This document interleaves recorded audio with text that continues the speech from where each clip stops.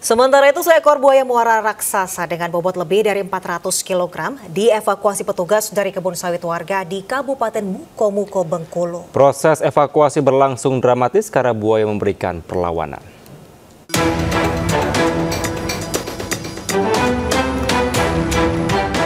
Tim gabungan dari Resor BKSDA Mukomuko, Pos Air Hitam, bersama anggota Polsek dan Koramil setempat berupaya mengevakuasi seekor buaya muara yang bersarang di perkebunan sawit warga di Desa Teramang, Kabupaten Mukomuko, Bengkulu.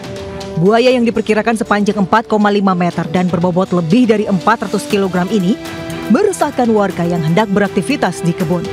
Proses evakuasi berlangsung dramatis karena buaya memberikan perlawanan saat akan dijerat menggunakan tali.